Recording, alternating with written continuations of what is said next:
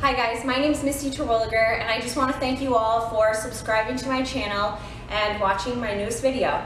Um, I'm going to start going over fitness skills, how to choreograph routines, um, the how-tos, the do-nots, all that kind of stuff for the fitness division.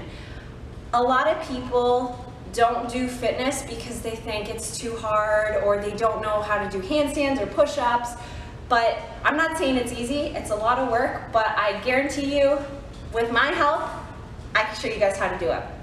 So today we're gonna start with the rules and regulations for the NPC and IFBB fitness division. I'm gonna go over it for you guys, show you some skills and things that you can work on. So if you wanna keep watching, I'm gonna show you some stuff. In this video, we're gonna be specifically working on the fitness routine round. So you're gonna wanna find music that's two minutes long, maximum of two minutes, because if it's any longer, the DJ or the judges will cut the music, so you'll kind of be up there like, oh my gosh. So two minutes maximum. The four mandatory skills that the IFBB and NPC and OPA need to see in a fitness routine is push-ups, any kind, side splits, high kicks, and straddle holds. So those are the four mandatory skills. They can be done in any order, any variation. Um, for me personally, I try to hit like three of those in a routine.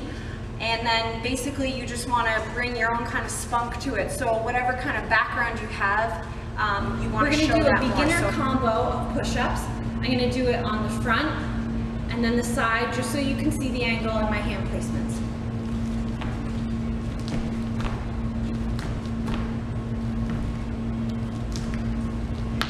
Okay, now the side.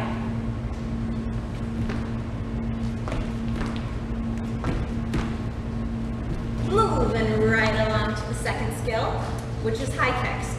Now you can put your hands in blades, in fists, you can go up and down, but for me, I like to keep my arms straight across because it shows the judges my flexibility when I high kick. All right, so now we're at the third skill, which is the straddle hold. There's two variations I'm going to show you with the hand placements. The first one, you want your hands onto the ground, palms touching, squeeze your toes and your legs, and lift and down. Side view.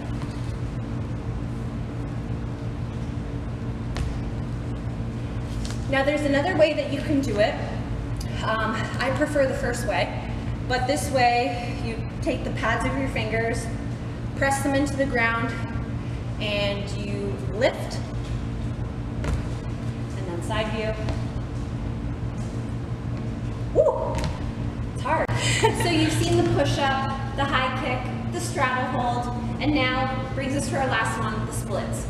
Um, for me personally, the side split is a time that I can breathe during the routine. It's like a downtime I can hit it, it's muscle memory, there's no thought effort into it, it just happens. So, for anyone who doesn't have the splits, just keep practicing.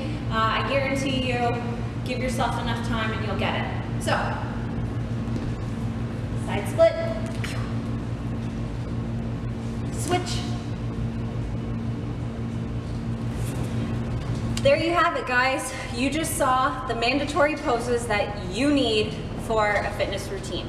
And remember, you want a two minute song, you can do any kind of theme that you want, and just add those four mandatory skills and the rest is just your choreography, whether it's backflips or cartwheels or dancy splits and split leaps, all that good stuff. Um, so I hope you guys like my video.